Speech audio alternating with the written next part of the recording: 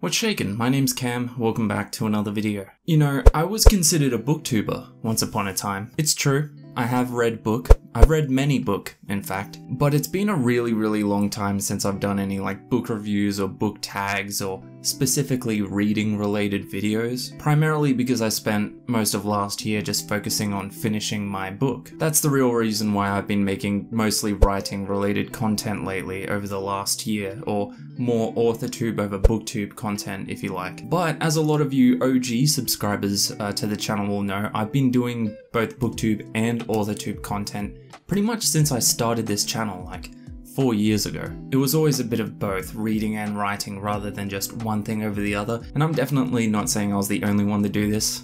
I wasn't, but there were very few people that were doing both booktube and authortube. I think we're referred to as like hybrids, and I think the main reason, at least back then, that there weren't a lot of hybrids was because if you split your content over reading and writing, it kind of stunted your growth on YouTube. You know, you would have like writers who would come to your channel from a writing video and then see that your next upload is a book review and then unsubscribe again, or the other way around. That's just how it was, and in fact, that's kind of how it still is, but it's fine. Anyway, for a while now, I have drifted away from being a, a booktuber. The main reason is that I, I just wasn't really reading much at all because I was, again, focusing on the writing. But screw it.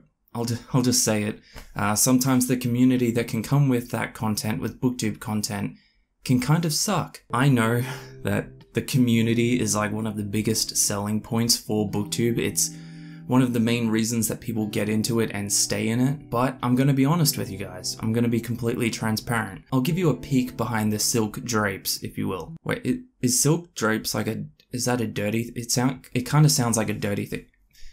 Anyway, sometimes the booktube community can be an absolutely asinine shitfight. I've never been directly involved in any of the drama or online warfare because I'm just not really interested in it. I, I don't want to get involved in that stuff. I, there's just no point. I've never been involved in it, but seeing it happen, uh, even from the outside as someone who was in or is in and cares about booktube as a concept, it is really disappointing to see that stuff happen, and to be honest, it's kind of embarrassing. It always seems to happen around the time that booktube is finally like getting some mainstream notice like like there was a time where we were in a New York Times piece or something like that or there's a mainstream interview with like a booktuber about booktube around the times where this this thing that we're all involved in is getting noticed and then some kind of like high school level drama bullshit pops up. I'm obviously not going to refer to like any specific instances but what I will say is that in most cases the issue is that there is a topic that is genuinely interesting or important to discuss within booktube but so quickly and so often that topic will rapidly spiral from being valuable discourse to just straight up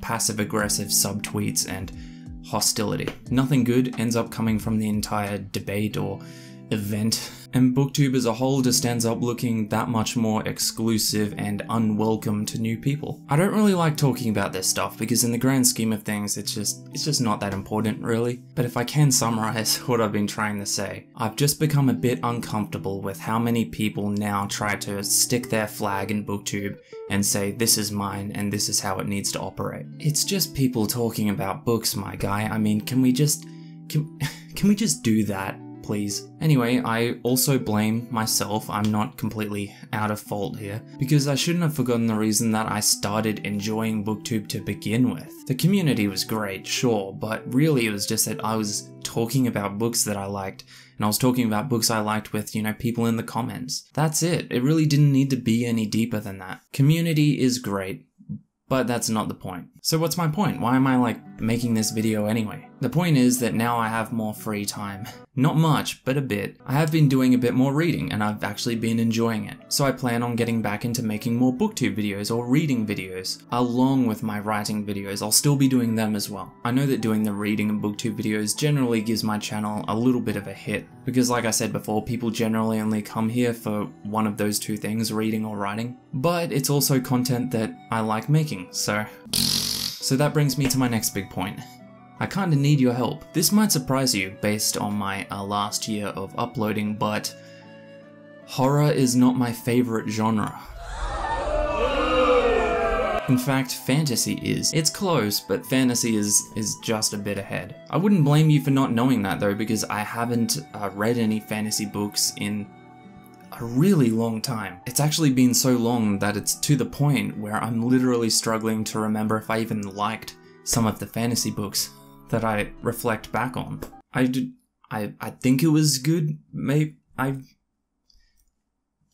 So here's the thing, I, I want to start fresh, I want to start completely fresh. I've finished my horror novel and I'm nearly done with my horror anthology of short stories, and after that I'm going to be going back to writing fantasy, which I'm really excited about. So I figure it's time I return. It's time I return to rolling hills and dark caves and dangerous forests and snowy mountain peaks. I want to not only reread some fantasy books or series that I've read in the past, but I also finally want to get to some series that I haven't read yet. So, where do you come in? Well, I want you to treat me as a complete fantasy newbie. Here's what I want you to do. I want you to pretend that uh, you've just met me, you're welcome. You've just met me and I've never read a fantasy book in my life. What fantasy book or series would you recommend to me? What fantasy book would you want me to read and make a video about? I have my first uh, fantasy series that I'm going to read picked out, which I'll get to in a moment, but I really want your input as well. What do you think is a quintessential fantasy series or book